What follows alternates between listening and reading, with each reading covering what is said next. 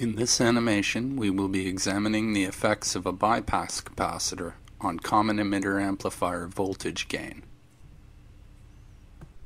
Here we have the basic voltage divider biased common emitter amplifier circuit. The circuit consists of four resistors and an NPN bipolar junction transistor. In addition to these core circuit elements, we are also using two coupling capacitors, which effectively block the DC element from the input signal as well as the output signal.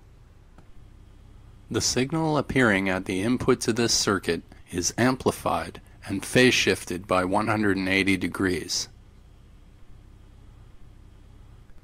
Having assigned sample values to the elements in the circuit, we are asked how many times greater would the AC voltage gain of this common emitter amplifier be if a bypass capacitor was added to the circuit.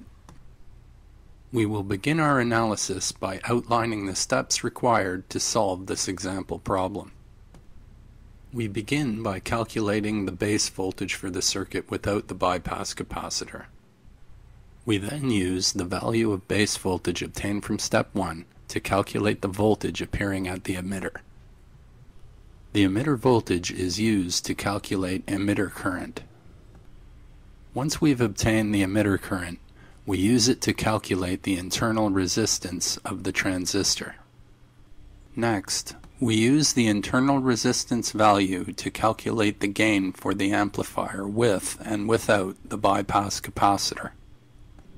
In the last step of the process, we compare the voltage gain of the circuit under both conditions. We begin our solution by calculating the base voltage for the circuit in its unmodified state. The base voltage can be determined by applying the voltage divider rule using the values of RA, RB, and VCC. When we substitute the known values and solve the equation, we end up with a base voltage value of 4 volts. We will now use the base voltage value obtained from our first step to calculate the voltage appearing at the emitter of the transistor. To do this, we subtract the base emitter voltage from our calculated base voltage to arrive at a value for emitter voltage. We use a typical value of 0.7 volts for the base emitter voltage to arrive at an emitter voltage of 3.3 volts. Moving on, we use this emitter voltage value with the value of resistor Re to calculate the current flowing through the emitter. This is accomplished by simply applying Ohm's law. This results in an emitter current equal to 1.32 milliamps. Having obtained the value of emitter current, we are now ready to move on to step 4 and calculate the emitter internal resistance of the BJT. The internal emitter resistance, RE, varies with current and is approximated using a 25 millivolt voltage drop and the calculated value for emitter current. We once again employ Ohm's law and end up with an internal emitter resistance value of 18.939 ohms. Having finally obtained the value of internal resistance in the emitter of the BJT, we are now ready to calculate the voltage gain of the amplifier circuit with and without the bypass capacitor. For the purposes of this demonstration, we will be using a simplified relationship to calculate voltage gain. This relationship disregards transistor beta. We will use the values of RC, the internal resistance of the BJT, and the value of RE to calculate voltage gain for the circuit. Substituting our known and calculated values, we evaluate the equation and arrive at a voltage gain of negative 3.176.